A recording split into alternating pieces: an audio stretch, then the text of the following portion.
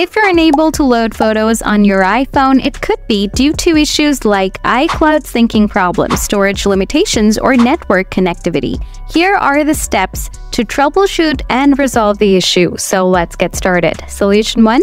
Try opening file from different apps.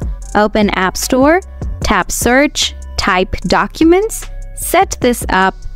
After setting up this app, tap Photos, Album, or try to open up File. Now find out the picture that you are having issues with. Try to open this up and see what happens. Solution 2. Make sure iCloud Photos is enabled. Open Settings on your iPhone, tap your name, Apple ID at the top, select iCloud, then tap Photos. Ensure that iCloud Photos is toggled on. If this is already on, turn it off and turn it back on.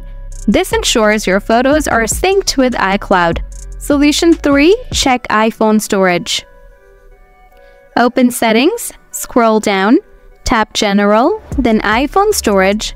Check if your storage is full. If it is, free up space by deleting unnecessary apps or files. Solution 4. Enable download and keep originals. Open Settings, scroll down, tap Apps, scroll down, and find out Photos app. Tap Photos, scroll down, Select Keep Originals. After that, restart your iPhone. This ensures your iPhone keeps the original, full resolution version of your photos locally. Solution 5. Sign out and sign back into iCloud.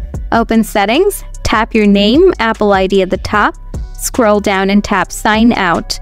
Restart your iPhone and sign back into iCloud. Make sure iCloud Photos is enabled again in the settings. By following these steps, you should be able to load photos on your iPhone again. If the issue persists, consider reaching out to Apple support for further assistance. Thanks for watching.